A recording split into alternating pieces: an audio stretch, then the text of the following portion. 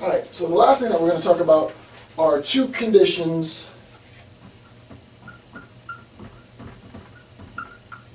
two conditions for the the last state, the end state, which is jus post jus post bellum. Okay. Um, in talking about um, let me check.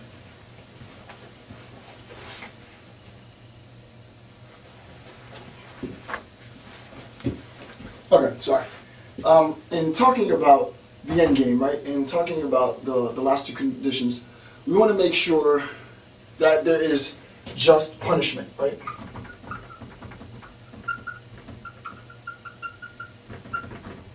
We want to make sure that there's just punishment. Obviously, now the war is concluded, right?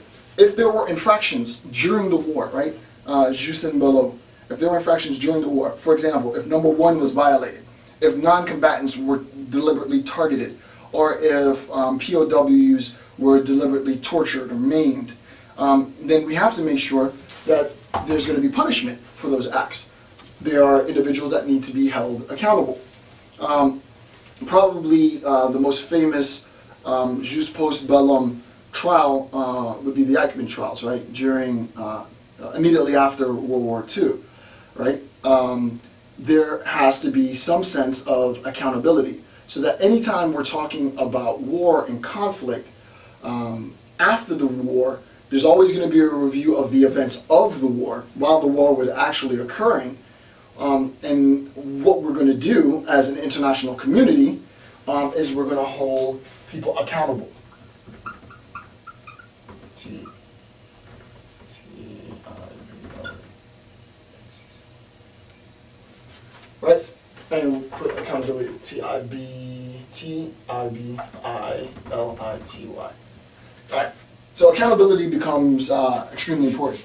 Anytime we're talking about sort of a, a post-war state, uh, there are going to have to be um, individuals that need to be accountable. This isn't always, sometimes wars begin, um, they last a certain number of years, um, the wars end and we move on. They're really, they're really earning trials to be held because there weren't any um, um, blaring atrocities during the war. Wars are bloody, wars are graphic, wars are extremely violent, right? But we want to make sure, and usually what's being held accountable when we have discussions of accountability, um, and especially if we're talking about punishment um, after the war, is specifically violations uh, um, of crimes mala in se, right? Crimes that were evil for the sake of being evil, crimes that were brutal for the sake of being brutal, mass rape, mass uh, extermination of children, uh, uh village burning, uh, stuff like that.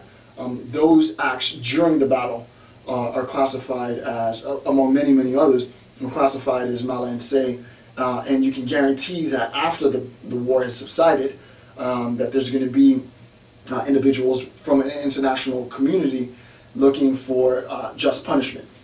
Okay, uh, and then lastly, number two, reconciliation, R-E-C-O-N, or reconstruction rather, R-E-C-O-N. S-T-R-U-C-T, reconstruction. And as we said, this is going to be aid slash aid. Right? So that one of the one of the um, one of the things that you have to recognize is that after the battle, um, international communities and, and, and, even former former uh, conflicting parties um, participate in reconstruction. Uh, after the Vietnam War, uh, the United States um, has helped to stabilize uh, Vietnam, right, financially, um, despite the fact that we were engaged in a battle, a very heated battle with Vietnam. Um, it's not something that that we had to do per se, um, but I think it was a good move, um, and I think reconstruction is important, right?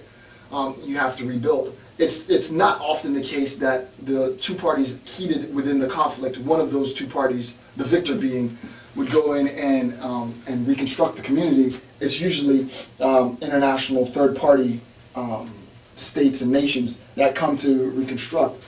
But reconstruction obviously um, um, directly correlates to Uh, hold on a second. I can't answer that right now. Um, reconstruction di- directly correlates to uh, aid and assistance um, giving. Hold on, let me. Hello?